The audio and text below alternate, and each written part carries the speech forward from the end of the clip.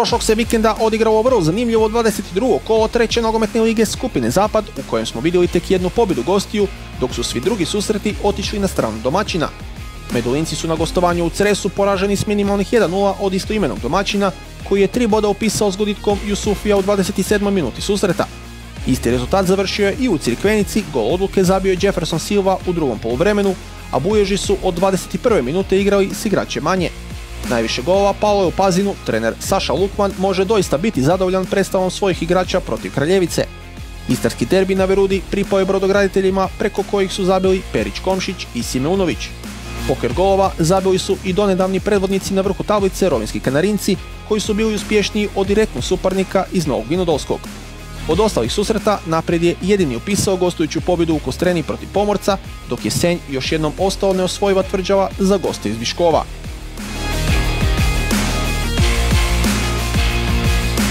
Tri pobjede u nizu doveli su Uljanik na prvo mjesto tablice, a tamo se ovaj klub zadržao i nakon prošlog kola s dva boda prednosti ispred Rovinjaca. Na trećem je mjestu Senski Nehaj, koji je pobjedom protiv Halobijana preskočio Vinodol na četvrtoj poziciji. Peta ekipa prvenstva je Pomorac 35 bodova, odnosno bodom više od Halubjana. Cres je stigao do okrugog 30. boda, Pazinka ima bod manje, dok Kraljevica ima dva boda manje od Cresa.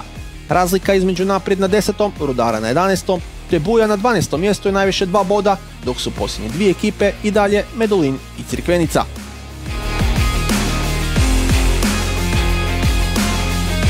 Marino Matković ostao na prvom mjestu ove tablici nakon ovog kola, a golom protiv Rudara na vrhu mu se pridružio Simeunović iz Uljanika. Još je jedan igrač s 13 postignutih golova, to je udarna špica Labinskog Rudara Paolo Juričić. Po 12 goditaka zabili su Buršić iz Vinodova te Vejcer iz Halobjana.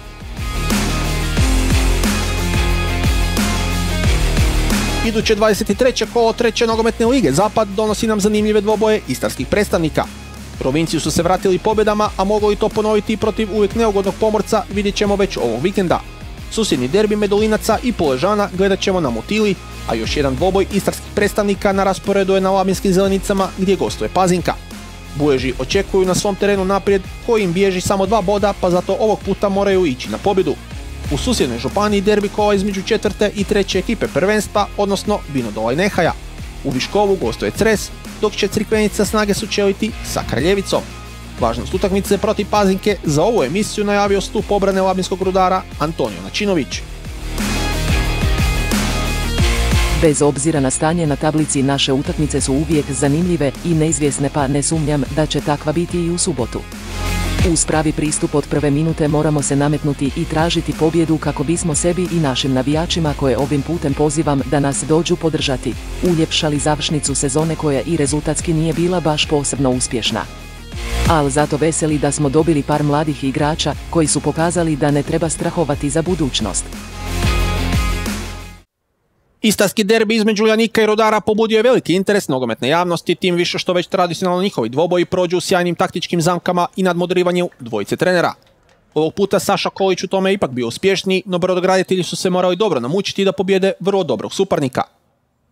Prvi su do prilike došli upravo gosti. Čena je produžio loptu za poznato ime labinskih travnjaka Ivana Macana, ali njegov udarac neutralizira Karlo Jurak.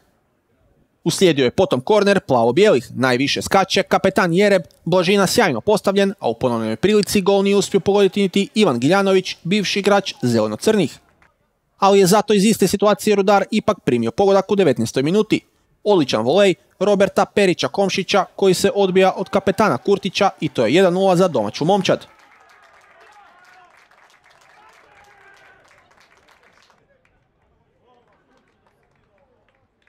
No, poznata mentalna snaga gostiju uskoro je ugledala svjetlo dana. Pogledajte samo ovu lijepu akciju u kojoj su došli do izjednačujućeg povodka, ništa tu nije mogao Jurak na udarac Čenaja.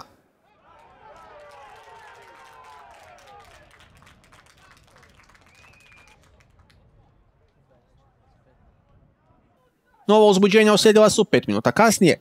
Korner za plave, Perić Komšić loptu udara glavom i pogađa u ruku Kurtića, a glavni sudac Antonio Melnjak odmah pokazuje na bijelu točku. Kako to i biva, takve situacije na sebe preuzima Simunović, koji tako stiže do svojeg 13. prvenstvenog pogotka i gola koji je donio tri boda njegovoj momčadi.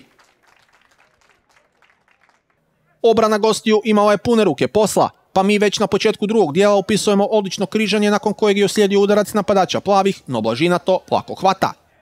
No nisu rudari bili bez prilika. Juričić je primio loptu na lijevoj polovici i odlično uposlio Salihovića, čiji udarac pogađa Čenaja. Uzvratili su potom Uljanikovci. Još se jednom pokazuje vizionarska igra kapetana Jereba koji je zadnjim pasom izluđivao obranu gostiju. No sreća je pomazila Labinjane, zatresla se prečka. Ako smo pohvalili odličan pas Jereba, vrijeme je da pohvalimo i odličnu obranu Blažine. Iako je ovo na izgled djelovalo bezopasno, Simeonović je često egzekutor i slobodnih udaraca. Isti igrač okušao je svoju sreću i nekoliko minuta kasnije iz bolje kuta, ali lopta prolazi u samu vratnicu i to je bilo sve od ovog dvoboja. Nastavlja se tako lov Uljanika za osvajanje ovog prvenstva i tek nekoliko kola dijeli ih od velikog slavlja. No, prije toga u idućem kolu moraju pobijediti na teškom gostovanju u Medulinu. S druge strane, Rudari igraju protiv još jednog istarskog predstavnika, na zelenice dolazi Pazinka. Prelazimo u rang niže, četvrta nogometna liga skupine Rijeka obilježena je uz tri pobjede gostiju, dvije pobjede domaćina i dva remija, a palo je ispod prosječnih 18 pogodaka.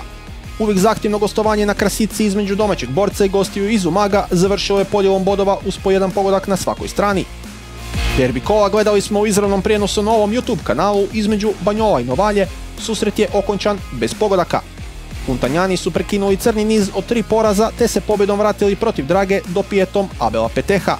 Mladost iz Fažane na Olivi nije mogla parirati lideru prvenstva koji je slavio na pogon Ahmada Šarbinija, najboljeg strelca lige. No zato velikog razloga za veselje imaju igrači Žminja koji su jedinim golom na susretu onog Sandija Burića pobjedili Gospić. U riječkoj regiji Otočac se nije mogao nositi s lokomotivom koja je zabila poker golova, a derbi začelja između Klane i Lovrana otišao je na stranu Fenjeraša uz pobjedu od 1 naprema 2.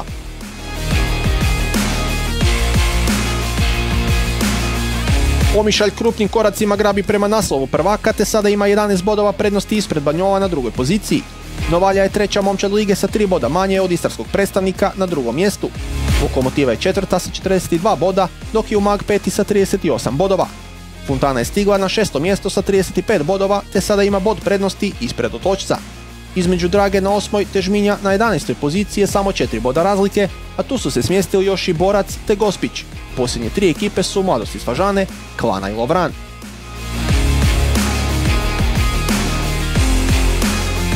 Hat-trikom protiv mladosti iz Fažane Ahmad Šarbini stigao je do 28. prvenstvenog gola, a 7 zgoditaka manje na kontu ima Ivan Pičuljan iz Lokomotive. Domagoj Prtenjača iz Omišlja nalazi se na trećoj poziciji, dok su po 12 golova zabili Ostović iz Otočca te Župan iz Novalje.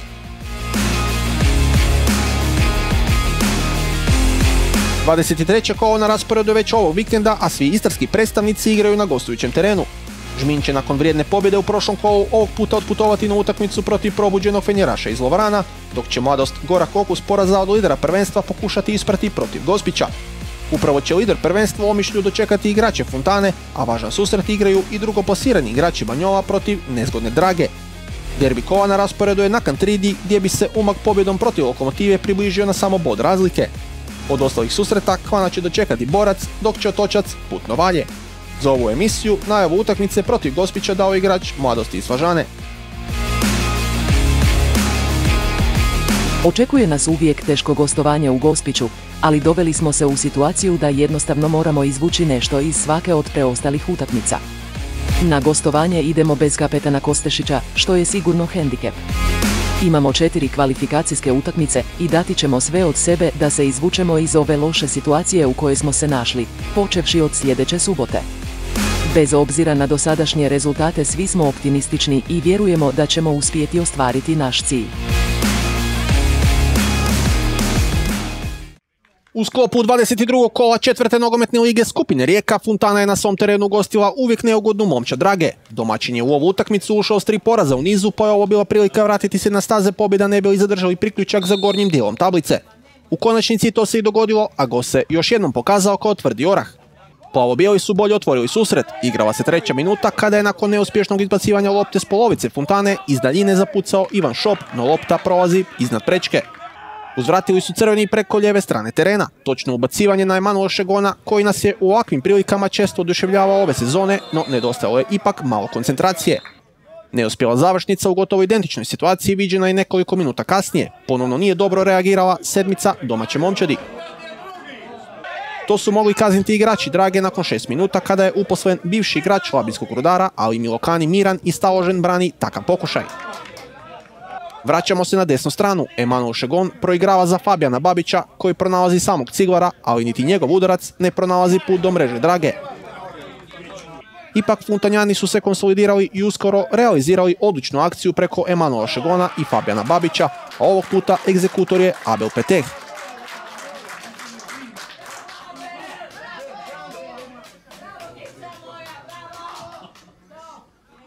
Mogli su potom gosti u dva navrata izjednačiti rezultat. Prvo je ubacivanje u kazneni prostor odlično iskoristio Kinkela dodajući za Rubinića koji pogađa prečku, da bi potom i ovaj udarac iz prekida prozujao tik uz vratnicu Fontane.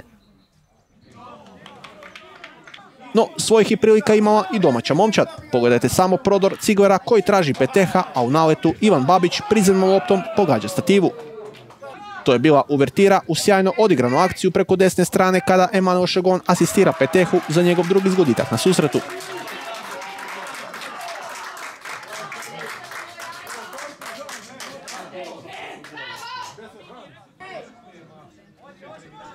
Do predaha smo pisali još i ovaj pokušaj domaće momčadi. Ivan Babić odlično je tukao, ali pokazalo se da je to lak pljen za gostujućeg vratara. Drugi dio utakmice gosti bacaju sve karte u napad i upisuju tri velike prilike zaredom. Okomiti prodor, pa dodavanje za Rudana kojem udarac u prvi kut brani Milokani. Zatim spomenuti vratar iz neposredne blizine hvata živu loptu Kristijanu Kurtiju, da bi zaključno Milokani još jednom pokazao svoje odlične vratarske sposobnosti nakon opasnog udarca napadača Drage. Na 3-0 mogli su crveni povisiti pred kraj susreta preko Emanuela Šegona, ali i Tomas Milić sjajno brani i to je sve od ovog dvoboja. Fontana je tako prekinula crni niz pa se puna samopouzdanja može okrenuti idućem dvoboju protiv lidera prvenstva. Draga će pak nakon ovog poraza do tri boda pokušati doći protiv drugoplasirane ekipe Banjova. Derbi 22. kola odigrao se u Banjolama između istoimene momčadi i gosti iz Novalje. I to samo po sebi ne bi privuklo puno pozornosti da se ne radi o drugoj i trećoj momčadi lige, čija je kvaliteta neupitna. Upravo zbog toga očekivao se tvrdi dvoboj, a dojam je da je bilo važno ne izgubiti niti jedan bod, što je u konačnici i pošlo za rukom i jednoj i drugoj momčadi. Prvi je zaprijetio domaćin preko Hajrovahovića koji je svoju sreću okušao u ovom solo prodoru, a udarac nije bio previše opasan za Smolčića. Gotovo istim intenzitetom završio i ovaj pokušaj De Souze, a vratar je na desnoj polovici lako uhvatio tu loptu. Ipak puno neugodniji pokušaj za Smolčića vidjeli smo nekoliko minuta kasnije, odlična kombinacija na rubu kaznenog prostora, pa lopta za Davida Lokezija koji tuče ravno u vratara. Uzvratili su potom gosti iz polukontre, sjajan prolazak po ljevoj strani, Tepšić je izašao sa svojih vrata, ali to napadno valje nije na najbolji način iskoristio, ostaje 0-0. Obrana Banjola izigrana je u ovoj situaciji pred kraj prvog dijela, lopta je stigla do Šime Župana, kojem je obranio Tepšić, a prava je sreća za domaćina da napadač bijelih nije vidio na drugoj strani potpuno samog suigrača. Nastavak dvoboja nakon 15-minutne pauze bolje otvaraju gosti. Dragan Župan je dodao za Blaževića, ali pod ko zna koji put ove sezone Tepšić sjajnom reakcijom čuva svoju mrežu. Bodovna je razlika između ove dvije ekipe i dalje tri boda, stoga svaka momčad mora loviti bodove u idućim utakmicama. Prilika za to bit će već ovog vikenda kada Manjole gostuju kod Drage, dok će Novalja na svom terenu dočekati otočac. Krasica je teren poznat po vrlo borbenim domaćim igračima, a ljubitelji nogometa svakako pamte odlične prezentacije protiv favoriziranih momčadi upravo na ovom terenu. U takvoj situaciji Umag je pun samopouzdanja nakon visoke pobjede protiv otočca došao na gostovanje kod borca iz Bakra. Već na samom početku domaćin je dao do znanja da želi puni plijen. Igrala se prva minuta, lopta seli na desnu stranu, a potom u ubacivanju u kazni prostor, no Boglić nije imao razloga za brigu. Puno ozbiljniji je bio pokušaj odmah u drugoj minuti kada udarac glavom trese prečku. Vrlo pragmatičan je ovdje bio Karol Žeželić. A isti igrač i 8 minuta kasnije lijevom nogom tražio daljni kut, ali hladnokorni Boglić to je lako obranio i sačuvao svoju mrežu. Do kraja prvih 45 minuta opisali smo još i ovu šansu domaće momčadi, no vrataru Maga nesumnjivo je imao svoj dan. Drugi dio dvoboja bolje otvaraju gosti. Lijepa kombinacija na ljevoj polovici, obrana borca greškom upošljava Ivana Babića, čiji udarac iz voleja brani Benulić. I to je bila tek uvertira u ovaj prekrasan pogodak u 60. minuti upravo spomenutog Babića, čiji izgoditak definitivno ulazi u kategoriju za gol tjedna, a pohvale idu i za ovo smetanje njegovih suigrača u živom zidu.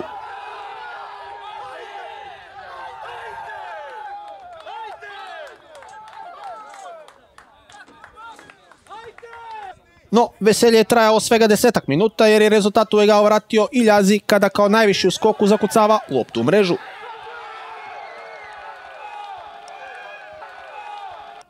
Zadnja šansa na utakmici pripala je gostima. Jan Manić ušao je u 75. minuti, a priliku kreirao 6 minuta kasnije, no dojam je da je ipak nedostajalo preciznosti u ovom udarcu. Na kraju poštena podjela bodova s kojom zadovoljni mogu biti gosti koji su tako stigli do 38. prvenstvenog boda. Iduće kolo momčad Umaga putuje na još jedno teško gostovanje protiv neugodne ekipe Lokomotive, dok će borac snage sučeliti s klanom. Žmin je prošlo kolo otišao na gostovanje kod lidera prvenstva i primio četiri gola, no u toj utakmici nekoliko pokazatelja kvalitete ove istarske momčadi došlo na vidjelo. Upravo zbog toga, a uz prednost domaćeg terena, navijači su se nadali šestoj pobjedi u prvenstvu, što se u konačnici i dogodilo protiv uvijek neugodne ekipe Gospića. Prvu priliku od strane Žminja vidimo nakon tri minute igre. Križanac je dodao za Papućija, koji iz distance testira vratarske sposobnosti Ivana Grmaće. Uzvratili su gosti u 14. minuti, odlična dubinska lopta za Tonkovića, koji se sjurio prema domaćim vratima, Vujica brani, a napadač Gospića ni u ponovljenoj prilici nije uspio reagirati na pravi način. I onda u 33. minuti ključni trenutak dvoboja. Plavi su odličnu akciju organizirali na desnoj strani, stvorili višak nakon kojeg je uslijedilo ubacivanje, a dodavanje za Burića bilo je kiruški precizno dovoljno kako bi isti igrač proslijedio loptu u mrežu za 1-0.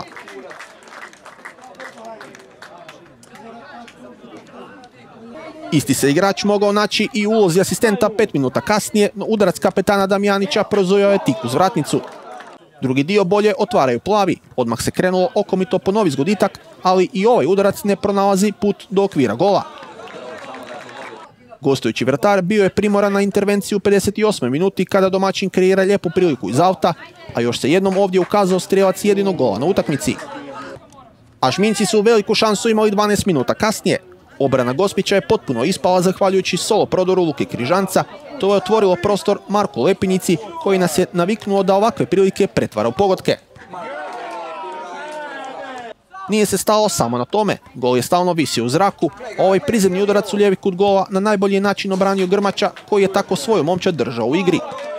Prekršaj u neugodnoj zoni udarca mogli su gosti iskoristiti za rezultatski egal, no bijeli jednostavno nisu imali svoj dan. Za kraj ovog sažetka pustili smo zanimljivu situaciju. Lipnica je dodao u for za Krnjuca koji šalje oštru loptu za Damjanića. Tražilo se ovdje da je lopta prešla preko gol linije, no sudac nije dijelio takvo mišljenje domaćih navijača.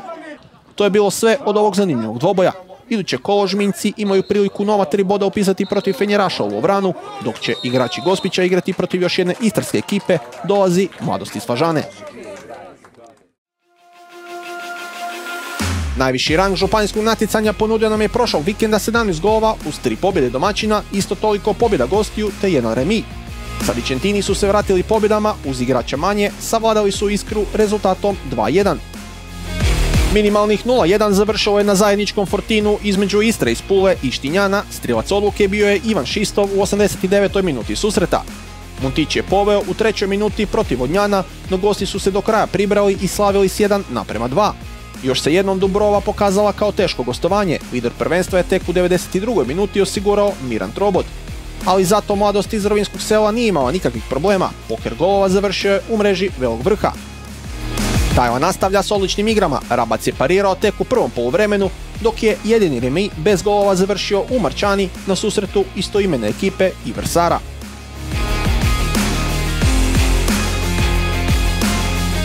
Ližnjanci su prva ekipa prvenstva sa 48 bodova, a slijedi potom odlična Dajla na drugoj poziciji uz 5 bodova manje.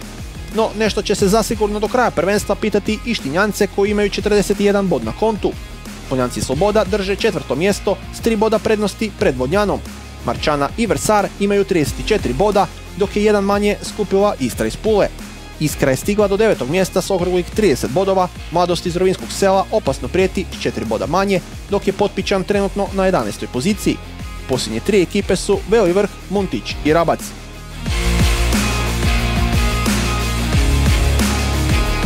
Trešnjić i Štinjana i dalje prvi topnik ove lige sa 17 golova, no odlična forma Kontošića iz Ližnjana mogla bi do kraja prvenstva dovesti u probleme prvog strijelca lige.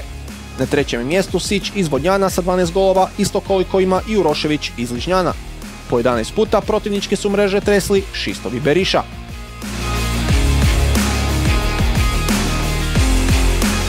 Što nam donosi iduće 22. kolo prve županijske nogometne lige, pogledajte u nastavku. Vrlo zanimljivu, ali i tešku utakmicu očekujemo na Šaraj gdje gostuje Marčana, a susjedni derbi igra se u Vodnjanu, igračima Zorana Peruška zaprijetit će Istra iz Pule. Derbi kola definitivno je rezerviran na Fortinu, Štinjan protiv Smoljanci Sloboda. Posljednja momčad lige ugostit će mladost iz Rovinskog sela koja je u odličnoj formi, a uvijek neugodan Tivoli, bit će poprište utakmice Velog vrha i Potpična. Može li Mutić još jednom prirediti iznenađenje i slaviti u Vrsaru, odnosno hoće li Dajla nastaviti sanjati svoj san o vrhu tablice i pobijediti Iskru, vidjet ćemo već ove nedelje od 17 sati. Važnost iduće utakmice mladosti najavio je jedan od najboljih vratara lige.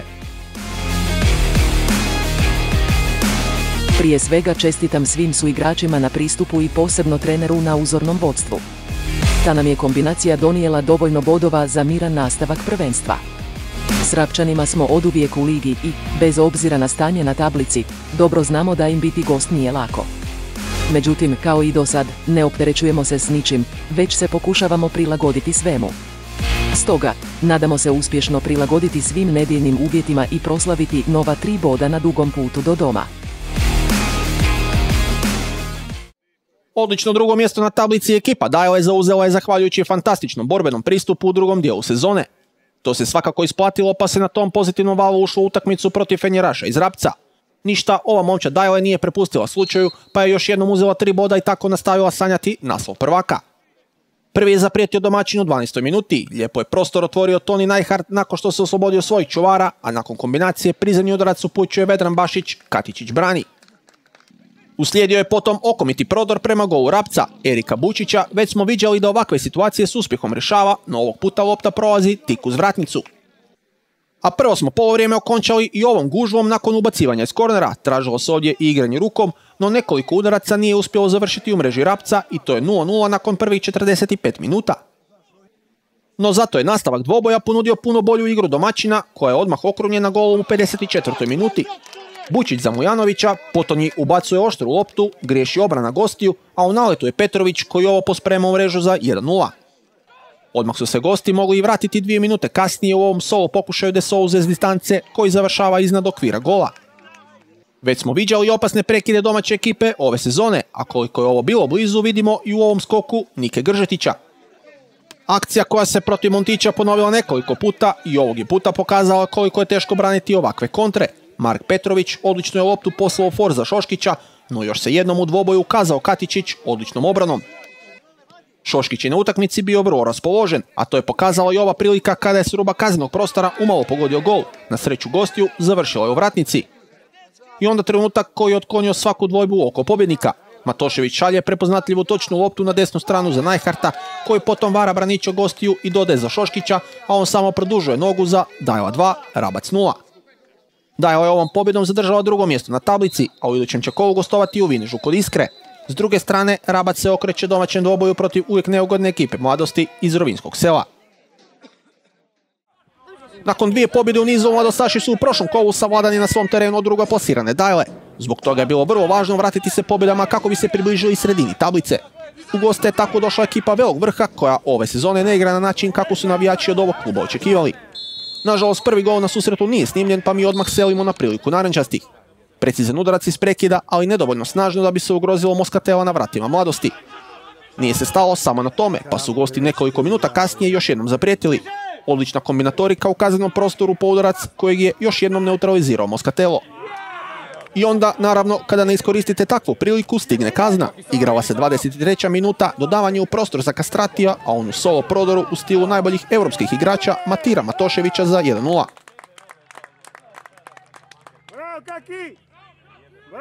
Isti igrač precizan je bio i u 32. minuti iz gotovo identične situacije. Još je jednom presudila odlična kontra, a treba pohvaliti i nesebičnu asistenciju Kastratijeva suigrača.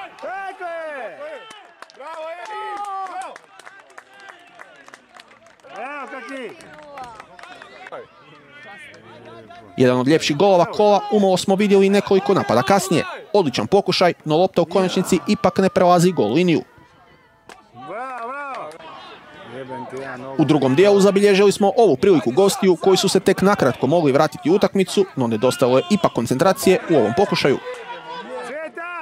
Sve dvojbe oko pobjednika, ako su i postojale, otklonjene su u 71. minuti kada mrežu trese Filip Tijani za veliko slavlje mladostaša i nastavak odličnih igri ove polusezone.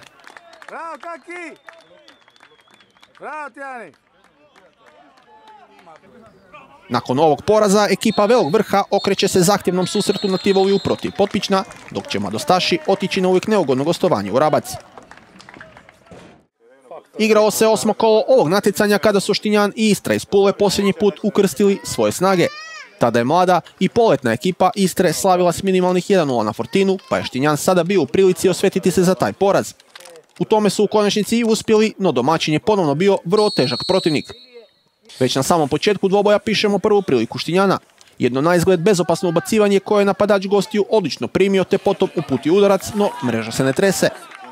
Crveni su poznati po odličnim križanjima kojima stvaraju višak između redova svojih protivnika. Tako je bilo i ovog puta, no bez opasnosti po gol Istre. Uzvratio je domaćin, ubacivanje skuta, visoki skok i udarac s glavom koji prolazi pored gola. Mahmutović na vratima Istre pokazao je ove sezone da se na njega i tekako može računati, a ovaj udarac lijepo neutralizirao. Igrači Štinjana nisu potom iz ponovljene prilike uspjeli pogoditi okvir gola. Kada ne ide iz blizine, možda ide s ruba kaznenog prostora, no slabašan je to pokušaj da bi se ugrozilo ranije spomenutog vratara Istre. Mreža se prvi put zatresla pred kraj susreta. Odlično proigravanje i dubinska lopta na desnu stranu, no gol je poništen zbog prekršaja u napadu. I onda trenutak koji odlučuje utakmicu. Igrala se 88. minuta susreta, prolazak po lijevoj strani u kazni prostor Istre, igrač Tinjana pada, a Patrik Beniković pokazuje na bijelu točku. Odgovornost na sebe preuzima kapetan Šisto koji šalje loptu u jednu stranu, a Mahmutovića u drugu i to je bilo dovoljno za tri boda gostujuće momčadi. Nakon remija u prošlom kolu Štinjan je stigao do nove pobjede. Iduće kolo ova odlična ekipa igra na Fortinu i to protiv Smoljanci Sloboda, između kojih je samo dva boda razlike. S druge strane, Istra iz Pule putuje na susjedni derbi u Vodnjan. Jedna od najboljih domaćih momčadi ove sezone, ekipa Smoljanci Sloboda, uvijek motivirana i rastrčana, izlazi na suhaču. Tako je bilo i ovog puta, iako treba reći kako su igrači Fatosa Hođe taktički odlično ušli u ovaj dvoboj i sjajno parirali veći dio susreta. Prednost je bio i crveni karton domaćeg igrača koje gosti na terenu nisu znali na najbolji način iskoristiti. Utakmicu bolje otvara domaćin. Nakon nekoliko minuta nadmudrivanja sjevno je prodor po ljevoj strani, odličnu obranu upisujemo Todoroviću. Okušao je potom svoju sreću Nermin Krasnići sa distance, no lopta prolazi iznad prečke. Vraćamo se na desnu polovicu, ubacivanje u kazneni prostor, obrana Iskre ne čisti na najbolji način, ali je zato tu Todorović koji još jednom brani. Ipak ni ovaj odlični golman ništa nije mogao u 27. minuti kada je Antonio Ivančić kao jegulja prošao do peterca Iskre i poslao loptu u mrežu gostiju.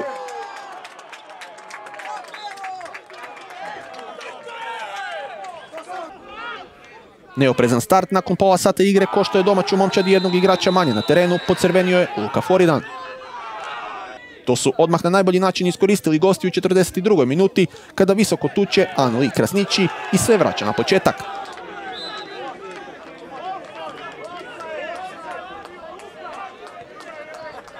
Do predaha su zaprijetili još jednom domaći igrači, ali nije to bio pokušaj koji bi iznenadio Todorovića. Unatoč manjku igrača na terenu, Smoljanci su napadali i stvarali prilike. Jednu takvu vidimo i nakon kornera kada se lopta odbija do ruba 16 metara, no niti ovog puta nema gola. Todorović je imao svoj dan, a to je pokazao i nekoliko napada kasnije kada boksanjem otklanja opasnost od svoga gola. No umjesto da napadnu, gosti su se povukli i to ih je koštalo u 58. minuti. Ivan Banović fenomenalno je pogodio sami kut gola i tako doveo svoj momčad u vodstvo od 2 naprema 1. Nije se stalo samo na tome, pa je domaćin do kraja utakmice vezao čak tri prilike. Prvo je sjevno udarac iz prekida, pored vratnice Iskre. Zatim je Tomas Dadić uputio snažan udarac u prvi kut kojeg brani vratar Iskre.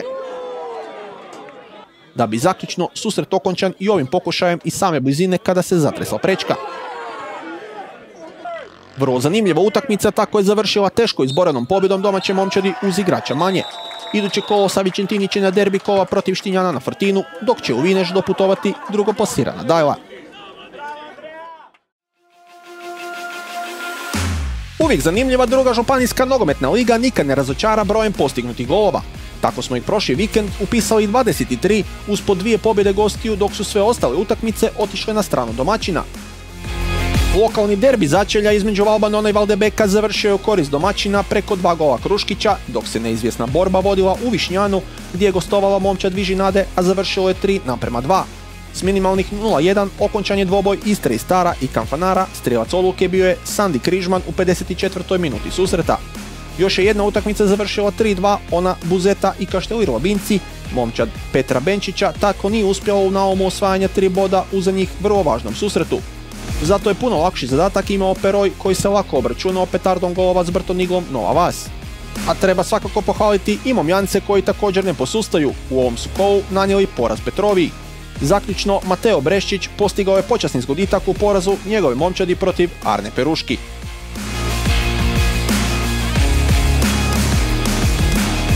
Kratko je trajao izlet Arne Peruški na vrh prvenstvene tablice jer su Perojci vratili tron i sada imaju 46 bodova uz dva boda viška nad prvim pratiteljem. No, blizu je Kamfanar koji je stigao do druge pobjede u nizu, baš kao što isti niz ima i Višnjan na četvrtom mjestu. Istra i Stara i Momjan imaju 31 bod, Petrovija bod manje, dok je Buzet osma ekipa prvenstva sa 26 bodova. Prava gužva između devetog i posljednjeg 14. mjesta gdje je bodovna razlika samo 5 bodova. Tu su se utaborili, barem za sada redom, Kaštelirova Binci, Brtonigo Nova Vas, Vižinada, Puris, Valdebek i posljednji Valbandon.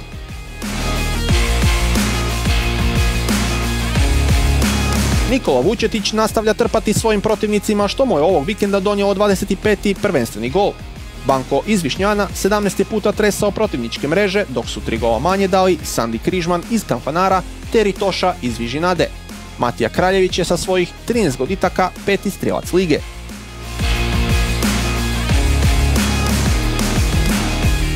Ulazimo polako u posljednji mjesec ove sezone, a na rasporedu je ovog vikenda 22. kolo. Valdebek će nakon poraza u lokalnom derbiju Gorak okus poraza pokušati isprati protiv Istra i Stara, dok će druga momčad prvenstva igrati na gostovanju kod treće, što znači samo jedno, sve oči nogometne javnosti bit će uperene u kamfanara. Kašteli Robinci igraju protiv Almanona, a Vukovi iz Petrovije gostuju kod Purisa. Može li Momjan nastaviti s pobjedama protiv uvijek opasne Vižinade, te hoće li Višnjan bodove otkinuti lideru prvenstva? Konačno, u nedjelju od 17 sati očekuje nas i važna utakmica Brton Igle, Nova Vas i Buzeta. Upravo smo trenera Buzeta zamolili za najavu iduće za njih vrlo važne utakmice.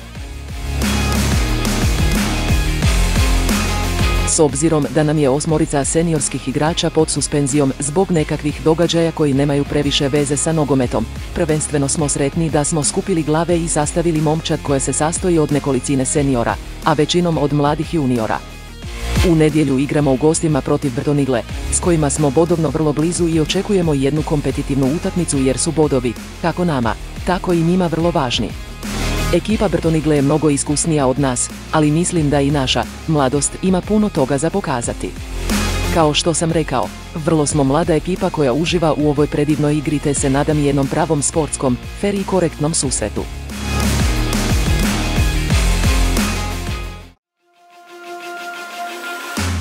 Skupina Sjever treće županijske nogometne lige prošlog je vikenda tek djelomično završena. Tako su susrete okončali Marošići ili Vade te Babići i Galeb. U prvo spomenutom dvoboju sve je otišlo na stranu domaćina koji je pobjedio s pokerom golova, a zabili su Cupin i Stojković 1 te Ivan Mijatović 2. No, zato je puno neizvjesnija utakmica bila ona između Babići i Galeba, koja je okončana podjelom bodova, a oba zgoditka pala su unutar jedne minute i to od strane Matea Radina i Anela Nesimija. Utakmica Novigrada i Mojele nije se odigrala zbog nedovoljnog broja igrača gostiju.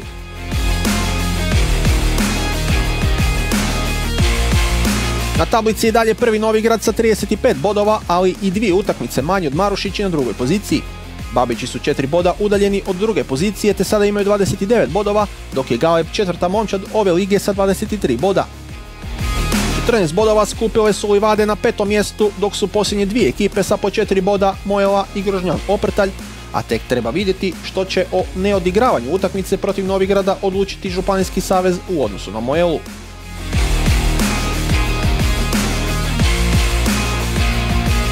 Mateo Radin je pogodkom u ovom kolu došao do 24. zgoditka i u ovom trenutku prvom konkurentu bježi za 9 golova.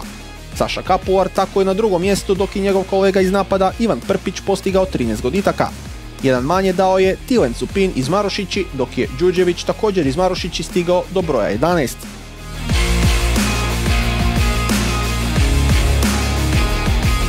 Iduće 18. kolo na rasporedu je već ovog vikenda, a otvaraju ga u subotu od 17 sati Livada i favorizirani Novigrad. Dan kasnije na teren u Juricanima izlazi Gale protiv Marošići, dok ćemo najavu iduće kola okončati utakmicom između Mele i Gružana Oprtalj, ili kako bi se nogometnim riječnikom reklo, derbijem začelja. Važnost utakmice Novigrada najavio je njihov kapetan Nikola Totić. Što se tiče utakmice mi uvijek idemo na pobjedu. Očekujemo da će biti tvrda utakmica, ali smo u dobrom tonusu treninga. Protivnik ima par dobrih igrača, ali mi ako smo pravi onda neće biti problema. Izostanaka neće biti kompletni smo za ovu utakmicu i atmosfera je jako dobra u svlačionici. Cilj nam je što prije osigurati matematički naslov prvaka, a uz potporu naših ultrasa ćemo što prije to i ostvariti. Želimo fer i korektnu igru.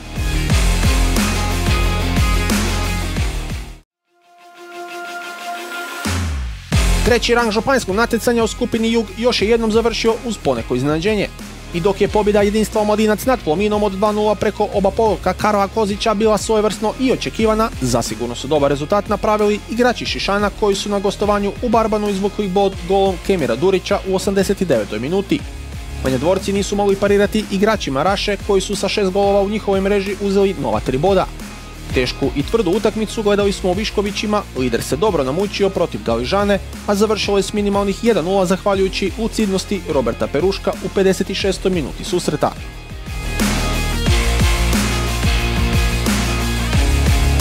Nakon dva poraza u nizu Cement je upisao pobjedu i sada na vrhu tablice ima 39 bodova, odnosno 5 više od Raše koja je u nizu od 3 pobjede. Na trećem mjestu sa 4 boda manje Polet, dok po 27 bodova imaju jedinstvo Omladinac i Barban. Plomin je šesta ekipa prvenstva i sada bježi Galižani za 3 boda. Posljednje dvije momčadi su Manja Dvorci i Šišan, između kojih se vodi mrtva trka za bijeg s neugodnog zadnjeg mjesta tablice.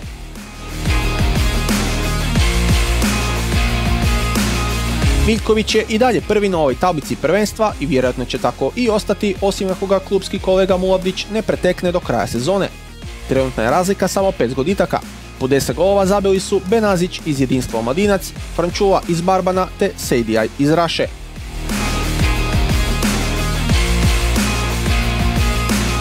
Nogometni savez Županije Istarske podijelio je nastavak prvenstva na ligu za play-off i ligu za play-out.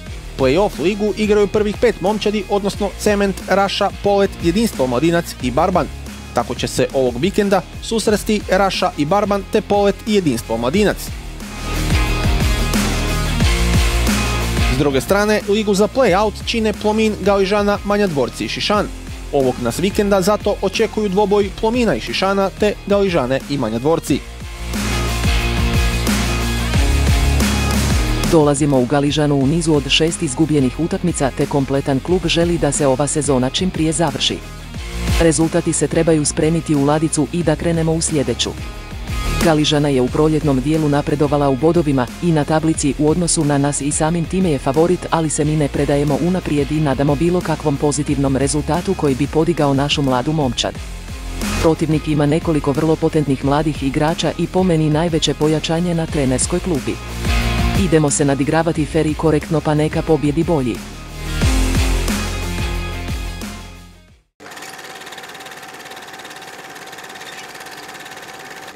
Proteklih nekoliko godina ženski nogomet proživljava pravu renesansu. Posljednje svjetsko prvenstvo bilo je 30% gledanje od prethodnog, a prihodi od TV prava su se učetvrostručili.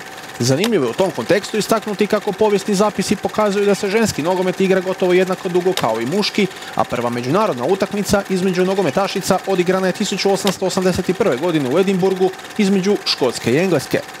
U Hrvatskoj se pak prve ženske nogometne sekcije osnivaju 1937. godine u Zagrebu i Borovu, koje kasnije prerastaju u nogometne klubove. Tijekom povijesnog razvoja ženskog nogometa nije mu se predavala dovoljna važnost, a razlog tome je loša strategija razvoja ženskog nogometa. No, to se u Hrvatskoj znatno mijenja i vidljivi su veliki pomaci u infrastrukturnom ulaganju kao i u obrazovanju stručnog kadra. U suradnji s FIFA-om i koristići sredstva iz programa Forward, Hrvatski nogometni savez samo 2021. je uložio 3,5 milijuna tadašnjih kuna, a sve kako bi se dala snažna potpora daljem razvoju ženskog nogometa. U razvoju ženskog nogometa u Istri uvelike je doprinio Ante Blašković, osnivač ŽNK Istre. On se istaknuo i kao glavni osnivač prve nogometne škole u Istri 1960. godine koja je djelovala pri NK Tehnomontu. Sljedeći značajni događaj koji je obilježio razvoj ženskog nogometa u Istri nastupio je 2007. godine kada je Enzo Zohil, trener i predstavnik kluba, okupio krug djevojaka koje žele igrati i naučiti vještine nogometa. Klub je nazvan Istra Žminj. Nakon što se početkom godine klub registrirao na plenumu ženskih nogometnih klubova u Zagrebu, ŽNK Istra Žminj postoje član druge ženske Hrvatske nogometne lige Zapad. Budući da igračice dolaze iz cijele Istre, ali i Primorsko-Goranske županije, Žminj je odabran kao središte ženskog nogometa. Godine 2011. ŽNK Istra Žminj mijenja naziv u Istra Pula, sve zbog sjedišta u Puli. Danas s kvalitetom nogometne škole i natjecanja za nogometašice u Istri prednjači Pulski prvoligaš, čiji se rad prepoznaje do mjere da je veliki broj igračica dobio pozive u nacionalnu vrstu. No, svakako treba pohvaliti i inicijativu nogometnog kluba Pazinka, koji već dulje vrijeme ulože velike napore u pokretanje ženske sekcije, a nogometni klub Banjole uz odlične rezultate senjora, sve bolje infrastrukturne uvjete, masovni omladinski pogon od tekuće 2024. godine i odlučio osnovati i kategoriju djevojčica. Nije na odmet spomenuti i kako se sve češće u Istri organiziraju sportske manifestacije upravo u svrhu promocije ženskog nogometa pa smo tako prošlog vikenda gledali u Medulinu Football Family Picnic, odnosno 23. međunarodni nogometni turnir za djevojčice i dječake, ali i ove zime u organizaciji Nogometnog saveza Županije Istarske i zimsku malo nogometnu ligu, te vikend ženskog nogometa koji je prošle godine okupio brojne talentirane nogometašice u Istri, te pokazao i dokazao da ženski nogomet na ovom poluotoku svakako ima svijetlu budućnost.